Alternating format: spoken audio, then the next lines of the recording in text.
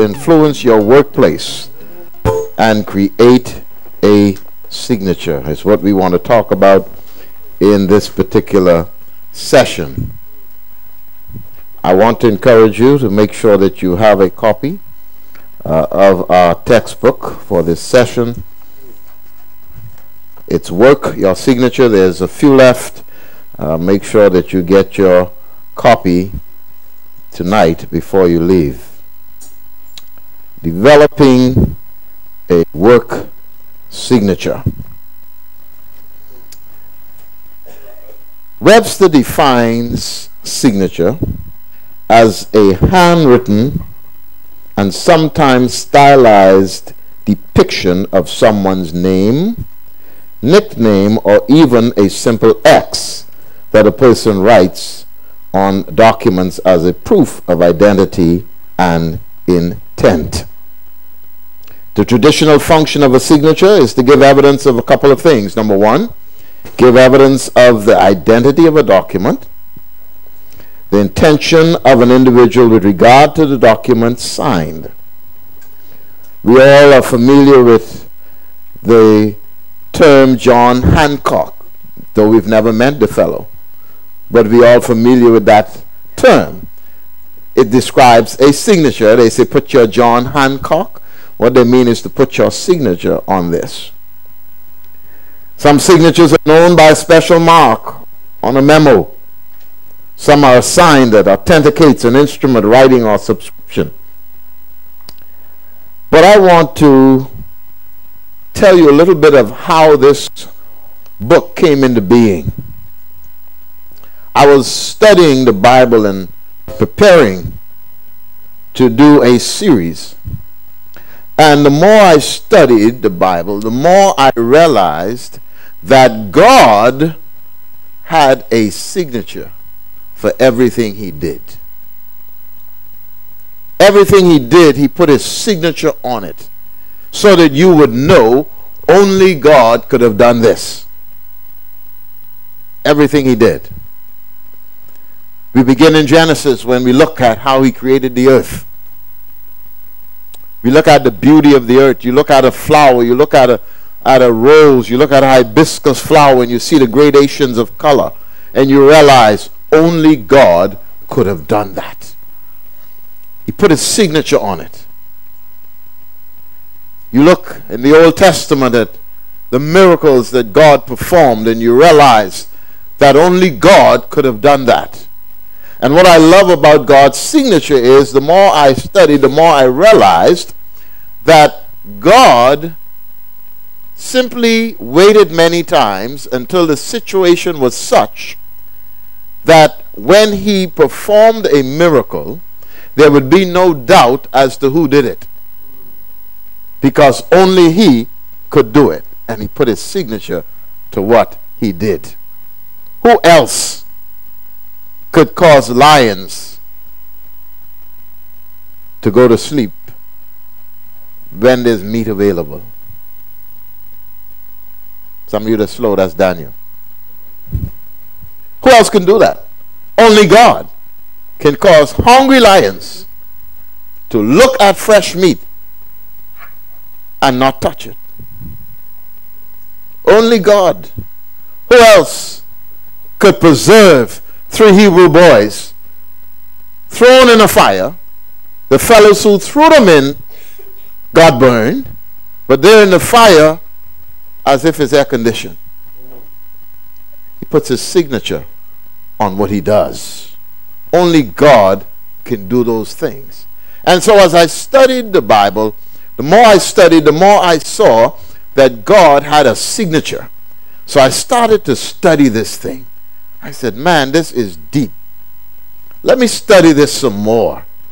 And then I began to see more and more that all of us, because we were created in God's image and in God's likeness, our work, which is a reflection of our ability from God, should have a signature. People ought to be able to recognize that you did something by the way you do it. Now, the thing is this I found out that people do recognize what you do. Unfortunately, many times it's a negative recognition. They say, oh, yeah, she did that. Look at how it's done. Look at how poorly it's done. Look at how halfway it's done. That's not the kind of signature you want. You want to create a signature like the one you are from. I said, like the one you are from. I said, like the one you are from. You came out of him. So your signature, your work signature should be that of excellence. People ought to be able to see and know that you did that without even seeing you do it. Because your signature ought to be one of excellence. And when I began to study this thing, it changed me because I began to realize that if I'm going to put my signature to something, if I'm going to create a signature of excellence, I've got to take special care about how I do what I do. Now, when, when this revelation becomes real to you, it changes you. Because you become now more conscious of how you do what you do. Because you are, in fact, every single day of your life creating a signature. It's a matter of what kind of signature it's going to be. You know, when people observe your work ethics and leadership traits, they should be able to see a mark on your character that is significantly different from others. Ought to be able to recognize that that was you there. I want to talk then about 12 signature keys. How you create your signature and leave your mark. 12 signature keys. You know, they say that Michelangelo, when he was painting the Sistine Chapel, they say that he not only painted what you could see, but he painted behind what you can't see. Why would someone painstakingly do something like that? Keep in mind, he didn't have all the modern tools and you know pieces of equipment that they have today to go up high and do stuff. So it must have been very, very strenuous to even get up there in the first place but then to put yourself in a position where you go behind what no one will see. Why would you do something like that? He understood, I believe, what I'm talking about. His work was his signature. And he was not satisfied until he had left a signature of excellence. See, excellence was his standard, not your standard. Your standard would have been, man, don't go behind it. No one's going to see that. Don't, no, that's not necessary. But his standard was, I've got to do it right, whether they see it or not. Because that's my signature. Wow. What a conviction.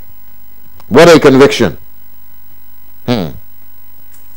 Only God could cause the very one who passed the law that any Hebrew boy that was born should be immediately killed. Only God could cause the very one who passed the law, his daughter, to go down and save a Hebrew boy. Save him by bringing him in his house, the very one who created the law.